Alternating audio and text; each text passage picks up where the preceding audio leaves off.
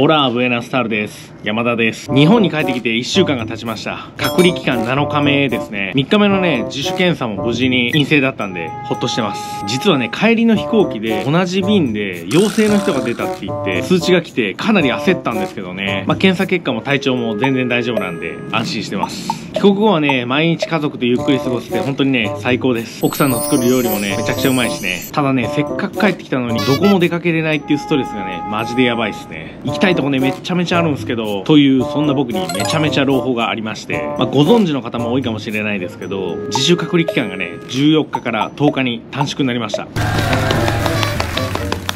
短縮なんてね、ほんと諦めてたんですけど、マジで嬉しいっす。しかもね、同時にメキシコがオミクロン株に対する指定国に指定されたんですよ。1月17日以降にメキシコから日本に入る人は、指定施設で3日間強制隔離になったんですよ。マジでタイミング危なかったっす。マジで今回ついてますわ。いつもだったらね、大体こういうのね、悪い方になる星の元に生まれてきたと思ってるんですけどね。元々の予定だと、隔離が終わってから3日しか自由な時間がなくて、しかもそのうち2日が引っ越し、で、残りの1日が PCR 検査とセントリアに移動と全泊で全然時間なかったんですよ。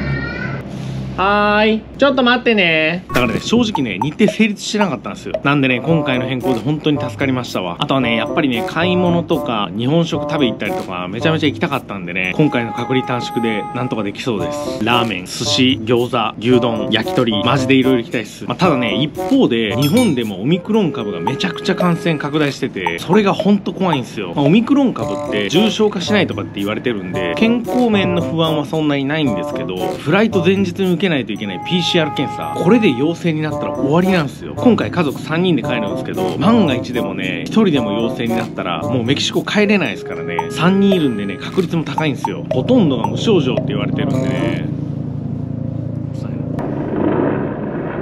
ほとんどが無症状って言われてるんでね受けて結果が出るまでねマジでドキドキなんですよね。ここでちょっと待ってて。すぐ行くよ。しかもね帰る家もない家なき子になるんですよ。大荷物を抱えてマジで考えるだけで恐ろしいっすわ、まあ、YouTube ネタにはねめちゃくちゃ最高なのかもしれないですけどね。こればっかりはねさすがにヤバすぎますね。隔離期間は短くなるんですけどね。油断せずに残りの日本の時間過ごしたいと思います、まあ、直近の近況報告ですけど、まあ、昼間はね、まあ、一応隔離中なんでね、まあ、基本的に家は出れなくてずっと家の中で過ごしてるんですけど、まあ、たまにはね気分転換で近所の公園にちょっと娘と遊びに行ったりとかしてますね。やっぱね外の空気吸わないとねちょっとやばいんですよもう。今日もねこれ家のテラスに出てちょっと日光浴してます。最初の3日間ぐらいは太陽の日も浴びなかったんで時差ボケも全然治んなくてやっぱりね太陽大事ですね。ということで残り少ない隔離期間まあおとなしくしたいのと隔離終わってからもね必要最低限の行動で日本満喫したいと思います。それではまた。